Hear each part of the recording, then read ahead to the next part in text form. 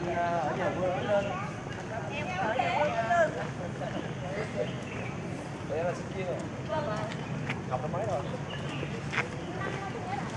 Năm một năm lớp rồi. Ở nhà quê quá rồi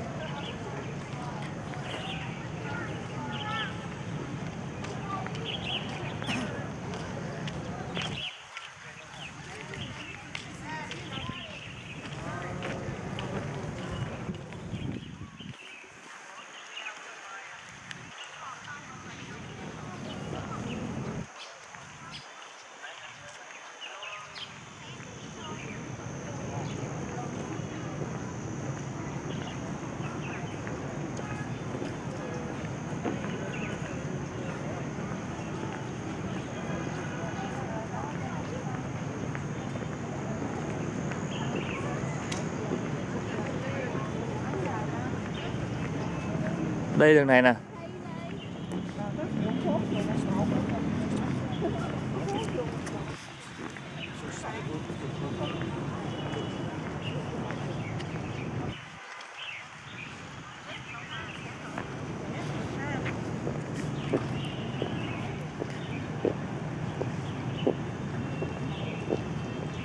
mấy cái cây thì nó màu vàng tre thành ngà còn